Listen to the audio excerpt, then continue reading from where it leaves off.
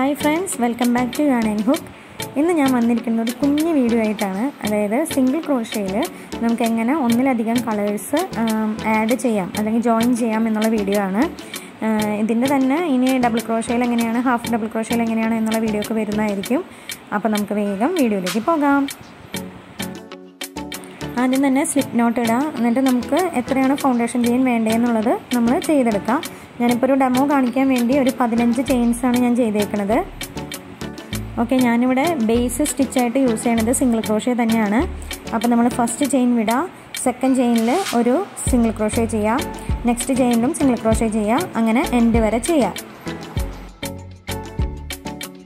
Okay അപ്പോൾ നമ്മൾ end വരെ എത്തിയിട്ടുണ്ട്. ഇനി ഞാൻ ഓരോ റോയും കൂടി തന്നെ സിംഗിൾ ക്രോഷേ ചെയ്യുന്നുണ്ട്. നിങ്ങൾക്ക് ഇവിടെ നിന്ന് തന്നെ വേണമെങ്കിൽ നെക്സ്റ്റ് കളർ ചെയ്യാം. അപ്പോൾ ഞാനിനി ഓരോ റൗണ്ടും കൂടിയും സിംഗിൾ ക്രോഷേ ചെയ്യുന്നുണ്ട്. അതിനായിട്ട് ചെയിൻ വൺ ഇടാം ടേൺ ചെയ്യാം.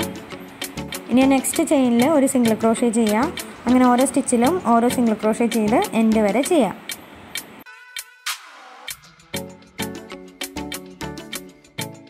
ഓക്കെ അപ്പോൾ നമ്മൾ ചെയ്ത് എൻഡ് വരെ എത്തി. ഇനി നമ്മൾ സാധാരണ ചെയ്യുന്നത് യാൺ ഓവർ ചെയ്ത് ആ രണ്ട് ലൂപ്പിന്റെ ഉള്ളിലൂടെയും വലിക്കുകയാണ്.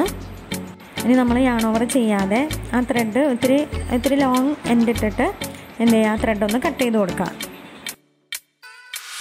എന്നിട്ട് നെക്സ്റ്റ് കളർ എടുക്കുക ഞാനിവിടെ ഒരു ക്രീം കളറാണ് എടുക്കുന്നത് അത് എന്നിട്ടൊരു ലൂപ്പ് പോലെ പിടിക്കാം. ഇത്തിരി എൻഡ് ഇട്ടിട്ട് വേണം. അതായത് ആ ത്രെഡ് എൻഡ് ഇത്തിരി ലെങ്ത് ഇട്ടിട്ട് വേണം ലൂപ്പ് പോലെ പിടിക്കാൻ. ഇനി നമ്മൾ ക്രീം കളർ എടുത്ത ലൂപ്പില്ലേ അത് ആ ഹുക്കുമ്മലത്തെ രണ്ട് ലൂപ്പില്ലേ അതിന്റെ ഉള്ളിലൂടെ വലിച്ച് എടുക്കാം. എന്നിട്ട് നമ്മൾ ആദ്യം ചെയ്ത ത്രെഡ് ഉണ്ട് അതായത് റെഡ് ഉള്ള ത്രെഡ് അതൊന്ന് നന്നായി ടൈറ്റ് ചെയ്ത് കൊടുക്കുക.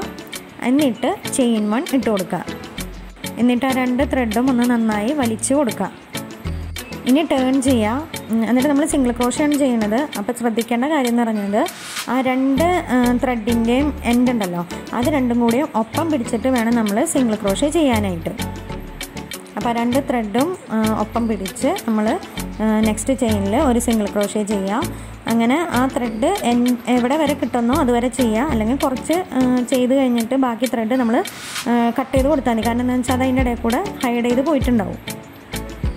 അങ്ങനെ നിങ്ങൾക്ക് എത്രയാണോ ആവശ്യം അത്രയും ചെയ്യുക ഇനി ഇതുപോലെ തന്നെ നെക്സ്റ്റ് ത്രെഡ് നിങ്ങൾക്ക് ആഡ് ചെയ്യണമെങ്കിൽ ഇതുപോലെ തന്നെ ലാസ്റ്റ് വരുമ്പോൾ നിർത്തിയിട്ട് അതായത് യാൺ ഓവർ ചെയ്താതെ നെക്സ്റ്റ് കളർ ഇതുപോലെ ആഡ് ചെയ്ത് കൊടുക്കുക. അങ്ങനെ ആവശ്യം പോലെ ചെയ്യാം. അപ്പോൾ ഇതാണ് ഇന്നത്തെ വീഡിയോ ഒരു കുഞ്ഞ് വീഡിയോ ആണ്. നമുക്ക് സിംഗിൾ ക്രോഷയിൽ എങ്ങനെ ഡിഫറെന്റ് കളേഴ്സ് ജോയിൻ ചെയ്യാമെന്നുള്ള വീഡിയോ ആണ്. അപ്പോൾ ഇതാണ് ഇന്നത്തെ വീഡിയോ അപ്പോൾ വീഡിയോ ഇഷ്ടമായാൽ ലൈക്ക് ചെയ്യുക ഷെയർ ചെയ്യുക സബ്സ്ക്രൈബ് ചെയ്യുക. അപ്പോൾ ഈ നെക്സ്റ്റ് വീഡിയോയിൽ കാണുന്നവരെ താങ്ക്സ് ഫോർ വാച്ചിങ്